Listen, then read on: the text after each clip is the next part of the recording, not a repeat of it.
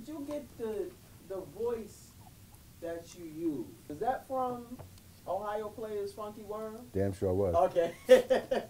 Damn sure was. It's like I, I want to make a voice like that.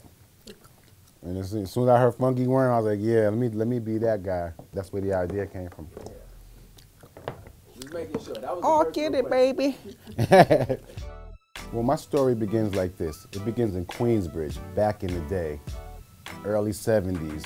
There was nothing but bands in the project. It was just before hip hop, so everybody was a band. The band guys were in control.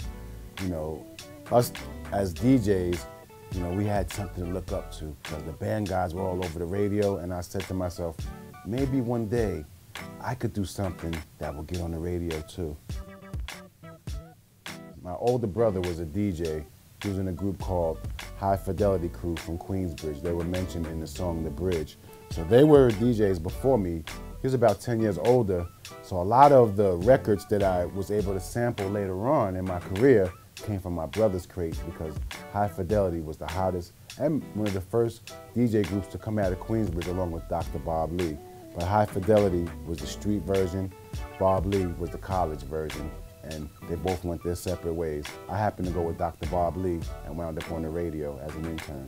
Now there are three records that I knew that I had to incorporate into my mixing back in the day in Queensbridge. One was Funky Drummer by James Brown.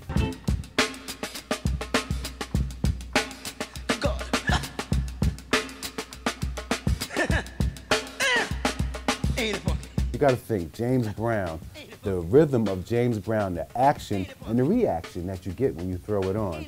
You know James Brown had to be one of the top ones. The other one was Dance to the Drummer's Beat by Herman Kelly.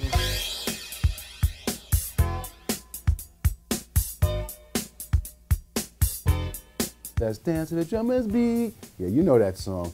That was a dancer's classic. You had to play that, else you was whack.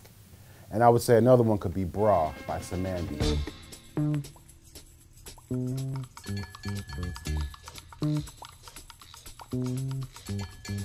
Bra was like a, a dancer's record. You know, there was a lot of dancing before rap came out. It was like breakdancing and graffiti were the first two things that I really started noticing other than DJing. Those were essential to DJ in Queensbridge back in the day. Life changed for me when I was with Dr. Bob Lee one day and I played Buffalo Gals remix. Mr. Magic heard my remix and was like, hey, my record doesn't do that. I was like, hey, it's not a Marley Marl remix, that's why. He said, who's Marley Marl? I said, me. Wow, I like that mix. Can I play it on my show? We got three million listeners all the time. I was like, hey, that sounds like an option. And I became his engineer all-star, Mr. Magic's engineer all-star DJ Marley Marl, with the mixing gloves that I never owned. You have to look at Sir Juice, Juice Crew. We were Mr. Magic's crew because he was Sir Juice. Uh, Mr. Magic helped me handpick each and every last one because when Big Daddy Kane first came, he had like a big afro, and but he was nice on the mic. Mr. Magic was like, look, you can't go on stage with your hair like that. Next thing you know, the high top fade was born through Big Daddy Kane. Um, so Mr. Magic had a big hand in picking everybody. He loved Biz Markie, he loved um, Roxanne Shante, and the first Juice Crew member that you don't know was Dimples D. But she, she went to college and didn't pursue her rap career. I could tell you a few things about Mr. Magic, but the most important thing I could tell you, he was very unruly to people. That's why, you know, the BDP beef came up because he actually dissed the whole Boogie Down production when they tried to let him hear the demo tape. He said it's whack. Marley Marl, MC Shan, Roxanne Shante, Mr. Magic is hip hop, and walked away and left them. So that's why in The Bridge is Over and um, South Bronx, those were the people that they spoke about because Mr. Magic said that we was real hip hop. I never knew why they had beef with us until I read KRS's resume one day and he said, Mr. Magic dissed our tape at Power Play. Oh, that was that crew.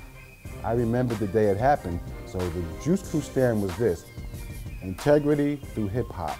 We always want to be the best that, were, that ever done it.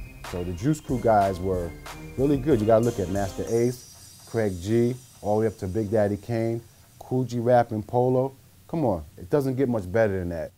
You know, the funny thing about the whole BDP battle, we never really said that Queensbridge started hip hop in our song. They just came from off tour. They want to tell you a little story about where they come from. But Chris said we said it, so everybody went with it. And that made me think, wow, he could make people believe what he said, something that we never said.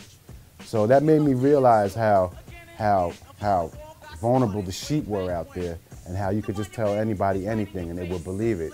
But um, Juice Crew, when it first came out, I was like, it ain't gonna happen because we're the Juice Crew. We're the mighty Juice Crew. Nobody's gonna believe that guy. To my surprise, they did. You telling you the story about how it evolved in our neighborhood. We never said that hip hop started there, but it's, weird. It could have been the end of the Juice Crew, but I had more in store. That's when I went to produce um, G Rap's album, Big Daddy Kane's album dropped, and you know I started bringing in more, more you know colors of the Juice Crew, just to show that it wasn't the end because it really could have been the end, because that was a hard blow. But I know I had to come back with G Rap and Polo, once again, or ain't no half stepping. So you know I think that shut everything down on my side as being a producer. A lot of people say that the symphony, the Marley Marl Symphony, is one of the greatest posse cuts of all time. Thank you. I'll take that. But that song was basically never supposed to happen. If you look on the back of my album cover, In Control 1, you see us standing in front of a Learjet. That very day, after that photo shoot, we went and made that record. Kane suggested, hey, we're all together. Let's go make a record. Now, everybody in that picture was supposed to be on the symphony. Uh, some didn't show up, some did, and their careers was made. Masta Ace was not supposed to be on that record, but thank God his rhymes was hot because I kept him on there, and that made his career. My whole adventure with LL Cool J really started at WBLS Studios. He came up for an interview. He was promoting Walking with a Panther, and I was like, look, there's a song on your album that I really, really like. You know, it, has something to do with running over like a redneck trucker. He said, oh, jingling. I said, yeah, you should let me remix that. I have an idea. So I got the parts, the Jingling Baby remix came. That's when we started to do the Mama Said Knock You Out album. We took the synergy and energy from clubs. We was going to the tunnel every weekend, leaving the tunnel, going straight to the studio with that energy, the drunkenness. I don't know how we made it home, but we did it and the album came out great. Only because we took the energy from the club, the energy from the people, and went right to the studio immediately following the club. And that's what the result was.